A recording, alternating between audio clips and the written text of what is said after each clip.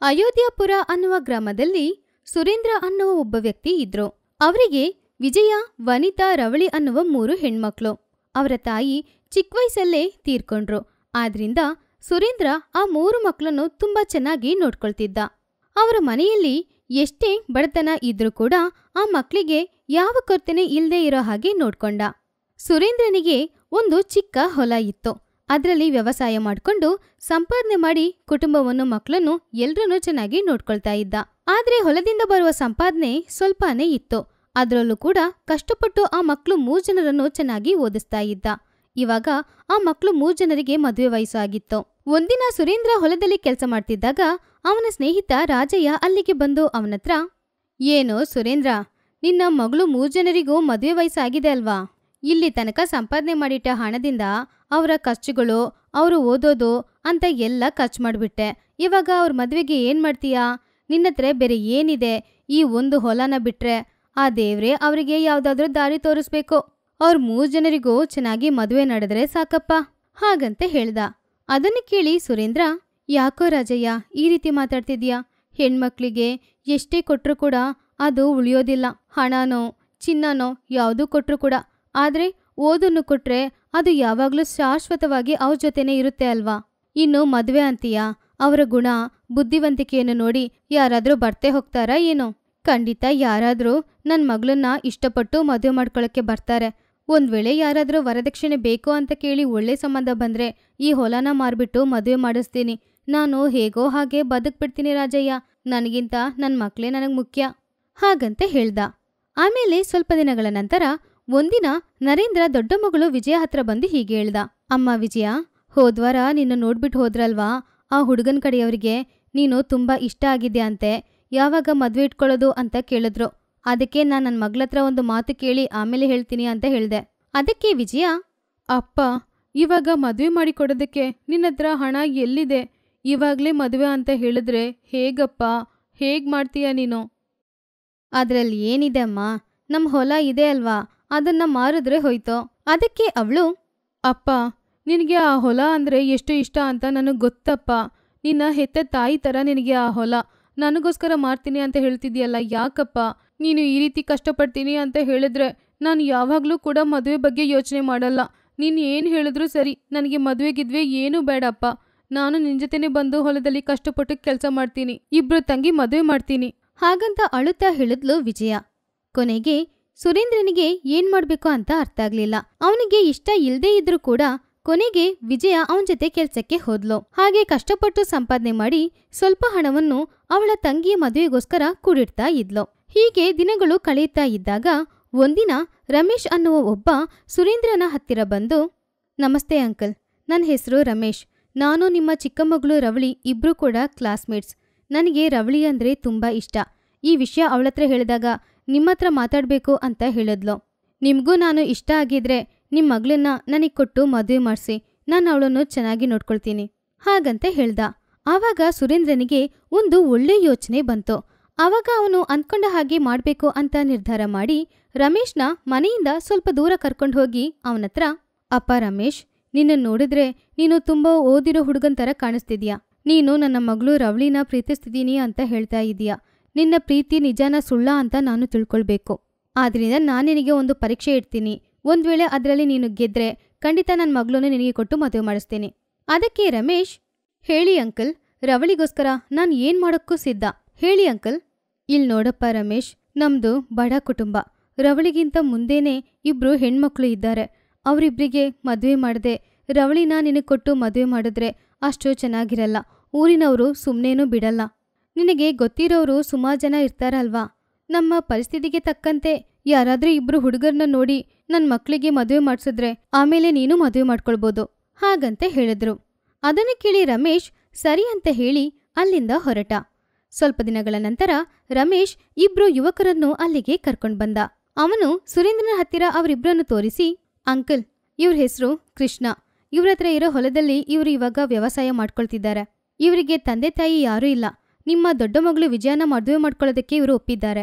ಅದು ಅಲ್ಲದೆ ಮದುವೆ ನಂತರ ಇವರು ನಿಮ್ಮ ಜೊತೆನೇ ಉಳ್ಕೊಳ್ತಾರೆ. ಹಾಗಂತ ಇನ್ನೊಬ್ಬರನ್ನು ತೋರಿಸಿ, ಇವ್ರ ಹೆಸರು ರಾಜು, ಚೆನ್ನಾಗಿ ಓದಿರೋ ಹುಡ್ಗ, ಸಾಫ್ಟ್ವೇರ್ ಇಂಜಿನಿಯರ್ ಕೆಲಸ ಮಾಡ್ತಿದ್ದಾರೆ. ನಿಮ್ಮ ಎರಡನೇ ಮಗಳು ವನಿತಾ ತುಂಬಾ ಬುದ್ಧಿವಂತೆ ಅನ್ನೋದ್ರಿಂದ ಅವಳನ್ನು ಮದುವೆ ಮಾಡ್ಕೊಳ್ಳೋದಕ್ಕೆ ಇವರು ಒಪ್ಪಿದ್ದಾರೆ. ನಿಮ್ಮ ಎರಡನೇ ಮಗಳು ವನಿತಾನ ಇವ್ರಿಗೆ ಕೊಟ್ಟು ಮದುವೆ ಮಾಡಿದ್ರೆ ತುಂಬಾ ಚೆನ್ನಾಗಿರುತ್ತೆ. ಇಷ್ಟು ದಿನ ರಾತ್ರಿ ಹಗಲು ಅಂತ ಹುಡುಕಿದ್ರಲ್ಲಿ ನನಗೆ ಇವರಿಬ್ರು ತುಂಬಾನೇ ಇಷ್ಟ ಆಗಿದ್ದಾರೆ. ನಿಮ್ಮ ಮಕ್ಕಳಿಗೂ ಕೂಡ ಇಷ್ಟ ಆಗಿದ್ರೆ ಮೂರು ಜನರ ಮದುವೆ ಕೂಡ ಒಂದೇ ಮುಹೂರ್ತದಲ್ಲಿ ಮಾಡ್ಬೋದು. ಆಮೇಲೆ ಇವರಿಗೆ ಒಂದು ರೂಪಾಯಿ ವರದಕ್ಷಿಣೆ ಕೂಡ ಬೇಡ ಅಂತೆ. ಹಾಗಂತ ಹೇಳ್ದ. ಅದನ್ನು ಕೇಳಿ ನರೇಂದ್ರನ ಕಣ್ಣುಗಳಲ್ಲಿ ಕಣ್ಣೀರು ತುಂಬಿತ್ತು.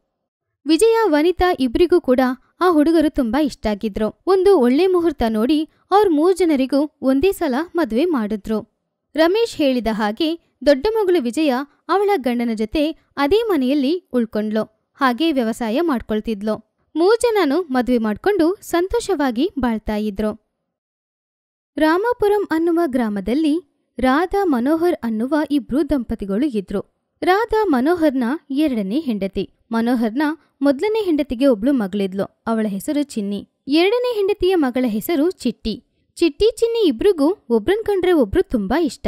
ಆದ್ರೆ ಇವರು ಹೀಗಿರೋದು ರಾಧಾಗೆ ಸ್ವಲ್ಪನೂ ಇಷ್ಟ ಆಗ್ಲಿಲ್ಲ. ಮನೋಹರ್ ಇರುವಾಗ ಒಳ್ಳೆ ತಾಯಿಯ ತರ ನಾಟಕ ಮಾಡಿ ಮನೋಹರ್ ಹೋದ್ಮೇಲೆ ಚಿನ್ನಿ ಹತ್ರ ಎಲ್ಲ ಮನೆ ಕೆಲಸ ಮಾಡಿಸ್ಕೊಳ್ತಿದ್ಲು. ಚಿನ್ನಿ ಚಿಟ್ಟಿ ಇಬ್ಬರನ್ನು ಕೂಡ ಅವಳು ಬೇರೆ ಬೇರೆ ಮಾಡಿ ಇಡ್ತಾ ಇದ್ಲು. ಹೀಗೆ ದಿನಗಳು ಕಳೆದವು. ಒಂದಿನ ಚಿನ್ನಿ ಅವಳ ಚಿಕ್ಕಮ್ಮನ ಬಳಿ, ಅಮ್ಮ, ನನಗೆ ಶಾಲೆಗೆ ಹೋಗಿ ಓದ್ಬೇಕು ಅಂತ ತುಂಬಾ ಆಸೆ ಆಗ್ತಿದೆ. ಇವಾಗ ತಂಗಿ ಕೂಡ ದೊಡ್ಡವಳಾಗಿದ್ದಾಳೆ ಅಲ್ವಾ? ನಾನು ಶಾಲೆಗೆ ಹೋಗಿ ಓದ್ಬಿಟ್ಟು ಸಂಜೆ ಬಂದ ಮೇಲೆ ನೀವು ಯಾವ ಕೆಲಸ ಕೊಟ್ಟರು ಕೂಡ ಮಾಡ್ತೀನಿ. ಆಮೇಲೆ ನನಗೆ ತಂಗಿ ಕೂಡ ಸಹಾಯ ಮಾಡ್ತಾಳಲ್ವಾ? ಹಾಗಂತ ಹೇಳಿದ್ಲು. ಅದನ್ನು ಕೇಳಿ ರಾಧಾಗೆ ತುಂಬಾ ಕೋಪ ಬಂತು. ಏನೇ ಹೇಳ್ದೆ? ಹಾಳಾಗ್ ಹೋದವಳೆ. ಹುಟ್ಟಿದ ತಕ್ಷಣನೇ ನಿಮ್ ತಾಯಿನ ನುಂಗಿದ ರಾಕ್ಷಸಿ ಕಣೆ ನೀನು. ಇವಾಗ ನಿನಗೆ ಶಾಲೆಗೆ ಹೋಗಿ ಓದ್ಬೇಕು ಅಂತ ಆಸೆನಾ? ಅದೂ ಅಲ್ದೆ ನನ್ ಮಗಳನ್ನೇ ಮನೆ ಕೆಲಸ ಮಾಡಕ್ ಹೇಳ್ತೀಯಾ? ನಿನಗೆ ಎಷ್ಟು ಕೊಬ್ಬಿರ್ಬೋದು. ಇಷ್ಟು ಧೈರ್ಯ ನಿನ್ಗೆ ಹೇಗೆ ಬಂತೋ? ನಿನ್ನನ್ನಲ್ಲ ನಿಮ್ ತಂದೆನ ಹೇಳ್ಬೇಕು. ನನ್ನನ್ನು ಮದುವೆ ಮಾಡ್ಕೊಳ್ಬೇಕು ಅಂತ ಅವರು ಆಸೆ ಪಟ್ಟಾಗ್ಲೇ ನಿನ್ನನ್ನು ಹೇಗಾದರೂ ಎಲ್ಲಾದರೂ ಕಳಿಸಿರ್ಬೇಕು. ನಾನೇ ಮಾಡಿದ ದೊಡ್ಡ ತಪ್ಪು. ಎಲ್ಲ ನನ್ನ ಆಣೆ ಬರ. ಏನ್ ಮಾಡೋದು? ನಿನ್ನನ್ನಲ್ಲೇ ನಿನ್ನನ್ ಹೆತ್ಬಿಟ್ಟು ಹೋದ್ಲಲ್ಲ ನಿಮ್ಮ ತಾಯಿ ಅವಳನ್ನು ಹೇಳಬೇಕು. ಹಾಗೆ ಹೇಳಿದ ತಕ್ಷಣ ಚಿನ್ನಿ ಕೋಪದಿಂದ ಇಲ್ಲಿ ನೋಡಿ, ನೀವು ನನ್ನನ್ನು ಏನ್ ಬೇಕಾದ್ರೆ ಹೇಳ್ಕೊಳ್ಳಿ. ಪರವಾಗಿಲ್ಲ. ಆದ್ರೆ ನಮ್ಮ ಅಮ್ಮನ ಬಗ್ಗೆ ಏನು ಹೇಳ್ಬಾರ್ದು? ಹಾಗಂತ ಚಿನ್ನಿ ಕೋಪದಿಂದ ಹೇಳಿದ್ಲು. ಅದನ್ನು ಕೇಳಿ ರಾಧಾಗೆ ತುಂಬಾ ಕೋಪ ಬಂತು. ಹೇಳ್ತೀನಿ ಕಣೆ. ಹಾಗೇನೆ ಹೇಳ್ತೀನಿ. ಏನ್ ಮಾಡ್ತೀಯಾ? ಇವಾಗ ನಾನೇನ್ ಮಾಡ್ತೀನಂತ ನೋಡು. ಹಾಗಂತ ಹೇಳಿ ಚಿನ್ನಿನ ಮನೆ ಬಿಟ್ಟು ಆ ಕಡೆ ಕಳಿಸಿದ್ಲು. ಚಿನ್ನಿ ಮನೆ ಹೊರಗಡೆ ನಿಂತ್ಕೊಂಡು ಅಳ್ತಾ ಇದ್ಲು. ಅಮ್ಮ ಅಮ್ಮ, ಬಾಗಿಲು ತೆರಿ ಅಮ್ಮ. ನನಗೆ ತುಂಬಾ ಭಯ ಆಗ್ತಿದೆ ಅಮ್ಮ. ನಾನು ಒಳಗೆ ಬರ್ತೀನಿ. ಅಮ್ಮ. ಹಾಗಂತ ಅವಳು ಜೋರಾಗಿ ಅಳ್ತಾ ಇದ್ಲು. ಸ್ವಲ್ಪ ಸಮಯದ ನಂತರ ರಾಧಾ ಮನೆಯಿಂದ ಹೊರಗಡೆ ಬಂದ್ಲು. ಏನೇ, ಯಾಕೆ ಇನ್ನೂ ಇಲ್ಲೇ ನಿಂತ್ಕೊಂಡಿದ್ಯಾ? ನಿನ್ನನ್ನು ಆವಾಗಲೇ ಹೋಗೋ ಕೇಳ್ದೆ ಅಲ್ವಾ? ನೀನು ಹೋಗ್ಬಿಟ್ಟೆ ನಿಮ್ಮ ಅಮ್ಮನ್ ಫೋಟೋನ ಹೊರಗೆ ಹಾಕೋಣ ಅಂತ ಬಂದ್ರೆ ಇನ್ನು ಇಲ್ಲೇ ನಿಂತ್ಕೊಂಡಿದ್ಯಾ? ನಿನ್ನನ್ನು ಏನು ಮಾಡ್ತೀನಿ ನೋಡು. ಹಾಗಂತ ಹೇಳಿ ಅವಳ ತಾಯಿಯ ಫೋಟೋವನ್ನು ಅವಳ ಮೇಲೆ ಬಿಸಾಕದ್ಲು. ಆವಾಗ ಚಿನ್ನಿ ಆ ಫೋಟೋನ ಹಿಡ್ಕೊಂಡು ಮನಸ್ಸೊಳಗೆ, ಇನ್ ಮುಂದೆ ಹೇಗೋ ಇವರು ನನ್ನ ಈ ಮನೇಲಿ ಇಟ್ಕೊಳ್ಳೋದಿಲ್ಲ. ಅದು ಇವಾಗ ನನಗೆ ಚೆನ್ನಾಗಿ ಅರ್ಥ ಆಗ್ತಿದೆ. ನಾನೇ ಬೇರೆ ಎಲ್ಲಾದ್ರೂ ಉಳ್ಕೊಳ್ಳೋದಕ್ಕೆ ನೋಡ್ಬೇಕು. ಹಾಗಂತ ಅಂದ್ಕೊಂಡು ಅವಳ ತಾಯಿಯ ಫೋಟೋ ತಗೊಂಡು ಅಲ್ಲಿಂದ ಹೊರಟ್ಲು. ಹಾಗೆ ಅವಳು ಸ್ವಲ್ಪ ದೂರ ಹೋದ್ಮೇಲೆ ಕತ್ಲಾಗೋದಕ್ಕೆ ಶುರುವಾಯ್ತು. ಚಿನ್ನಿಗೆ ತುಂಬಾನೇ ಭಯ ಆಗ್ತಿತ್ತು. ಅವಳಿಗಿವಾಗ ಏನ್ ಮಾಡ್ಬೇಕು, ಎಲ್ ಹೋಗ್ಬೇಕು ಅಂತ ಅರ್ಥನೇ ಆಗ್ಲಿಲ್ಲ. ಅದೂ ಅಲ್ಲದೆ ಇವಾಗ ಅವಳಿಗೆ ಹಸುವಾಗೋದಕ್ಕೂ ಶುರುವಾಯ್ತು. ಅಮ್ಮ ಅಮ್ಮ, ನನಗೆ ಹಸುವಾಗ್ತಿದೆ ಸ್ವಲ್ಪನೂ ನಡೆಯೋಕ್ಕಾಗ್ತಿಲ್ಲ. ಯಾರಾದರೂ ಸಹಾಯ ಮಾಡಿ ಕಾಲಲ್ಲಿ ಮುಳ್ಳು ಚುಚ್ಕೊಂಡಿದ್ದೆ. ನಡೆಯೋಕ್ಕಾಗ್ತಾ ಇಲ್ಲ. ಹಾಗಂತ ಹೇಳಿ ಅವಳು ಜೋರಾಗಿ ಅಳ್ತಾ ಇದ್ಲು. ಆವಾಗ ಅವಳ ಕೈಯಲ್ಲಿರುವ ಫೋಟೋದಿಂದ ಅವಳ ತಾಯಿಯ ಧ್ವನಿ ಅವಳಿಗೆ ಕೇಳಿಸ್ತು. ಚಿನ್ನಿ ಚಿನ್ನಿ, ನಾನೇಮ್ಮ? ನಿನ್ನಮ್ಮ? ನಿನಗೆ ಹಸುವಾಗ್ತಿದೆ ಅಂತ ಹೇಳುವಾಗ ನನಗೆ ತುಂಬ ಕಷ್ಟ ಆಗ್ತಿದೆ. ಆದರೆ ನನ್ನಿಂದ ಏನು ಮಾಡೋಕ್ಕಾಗಲಿಲ್ಲ. ನಿನಗೋಸ್ಕರ ಇವಾಗ ನನ್ನಿಂದ ಒಂದೇ ಒಂದು ಸಹಾಯ ಮಾತ್ರ ಮಾಡೋಕ್ಕಾಗುತ್ತೆ. ನೀನು ಚಿಕ್ಕವಳಾಗಿದ್ದಾಗ ನಿನಗೋಸ್ಕರ ನಾನು ಎರಡು ಗೌನ್ಗಳನ್ನು ಹೊಲ್ದೆ ಆದರೆ ಅದನ್ನು ನಿನಗೆ ಹಾಕೋದಕ್ಕಿಂತನೇ ಮುಂಚೆನೆ ನಾನು ಸತ್ತೋದೆ. ಇವಾಗ ನನ್ನ ಶಕ್ತಿಗಳನ್ನು ಪ್ರಯೋಗಿಸಿ ಅದನ್ನು ಮಾಂತ್ರಿಕ ಗೌನ್ಗಳಾಗಿ ಮಾಡಿದ್ದೀನಿ. ಅದನ್ನು ನೀನು ಹಾಕೊಂಡು ಏನ್ ಕೇಳಿದ್ರೂ ಅದು ನಿನಗೆ ಸಿಗುತ್ತೆ. ಹಾಗಂತ ಹೇಳಿದ ತಕ್ಷಣ ಆ ಫೋಟೋ ಒಳಗಿಂದ ಎರಡು ಮಾಂತ್ರಿಕ ಗೌನ್ಗಳು ಹೊರಗೆ ಬಂತು. ಅದನ್ನು ನೋಡಿ ಚಿನ್ನಿ, ಅಮ್ಮ, ನಾನು ಇವಾಗ ಈ ಗೌನ್ ಇಟ್ಕೊಂಡು ಏನಮ್ಮ ಮಾಡೋದು? ನನಗೆ ತುಂಬ ಹಸುವಾಗ್ತಿದೆ ಅಮ್ಮ. ನನಗೆ ಈ ಗೌನ್ ಬೇಡ. ತಿನ್ನೋದಕ್ಕೆ ಏನಾದರೂ ಕೊಡಮ್ಮ. ನನಗೆ ತುಂಬ ಹಸುವಾಗ್ತಿದೆ ಅಮ್ಮ ಹಾಗಂತ ಕೇಳಿದ್ಲು. ಆವಾಗ ಫೋಟೋ, ಅಯ್ಯೋ ನನ್ನ ಮುದ್ದು ಮಗಳೇ ನೀನೀ ಗೌನ್ ಹಾಕೊಂಡು ಏನ್ ಕೇಳಿದ್ರೂ ಅದು ನಿನಗೆ ಸಿಗುತ್ತೆ. ಆದ್ರೆ ಅತಿ ಆಸೆ ಪಡ್ಲೇಬಾರ್ದು. ಅತಿ ಆಸೆ ಪಟ್ರೆ ಎಲ್ಲ ಕೆಟ್ಟದಾಗಿ ನಡೆಯುತ್ತೆ. ಹಾಗಂತ ಹೇಳಿದ್ಲು. ಆವಾಗ ಚಿನ್ನಿ, ಹಾಗಾದ್ರೆ ನನಗೆ ಈ ಒಂದ್ ಗೌನ್ ಸಾಕು. ಇನ್ನೊಂದ್ ಗೌನನ್ನ ನನ್ನ ತಂಗಿ ಕೊಡ್ತೀನಿ. ಹಾಗಂತ ಹೇಳಿದ್ಲು. ಆವಾಗ ತಾಯಿ, ನಿನ್ನ ಈ ಒಳ್ಳೆ ಗುಣನೇ ನಿನ್ನನ್ ಯಾವಾಗ್ಲೂ ಕಾಪಾಡುತ್ತೆ. ಹಾಗಂತ ಹೇಳಿ ಆ ಧ್ವನಿ ಆ ಫೋಟೋ ಒಳಗೆ ಹೋಗ್ಬಿಡ್ತು. ಚಿನ್ನಿ ತಕ್ಷಣ ಆ ಗೌನನ್ನು ಹಾಕೊಂಡ್ಲು ಆಸೆಗಳನ್ನು ಈಡೇರಿಸುವ ಓ ಮಾಂತ್ರಿಕ ಗೌನು ನನಗಿವಾಗ ತುಂಬಾ ಹಸ್ವಾಗ್ತಾ ಇದೆ. ನಾನು ಸರಿಯಾಗಿ ಊಟ ಮಾಡಿ ಎರಡು ದಿನ ಆಗಿದೆ. ನನಗೆ ಊಟ ಮಾಡೋದಕ್ಕೆ ಏನಾದರೂ ಕೊಡ್ತೀಯಾ? ಹಾಗಂತ ಹೇಳಿದ ತಕ್ಷಣ ಅಲ್ಲಿ ರುಚಿಕರವಾದ ಆಹಾರ ಪದಾರ್ಥಗಳು ಪ್ರತ್ಯಕ್ಷವಾಯಿತು.